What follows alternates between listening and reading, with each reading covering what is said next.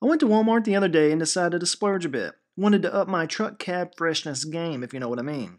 This was a heck of a price, so I decided to put a few George Washingtons on it. Got home, read the instructions, opened her up, and nothing. I couldn't smell anything. Let it sit in the truck for a week, still nothing, no smell at all.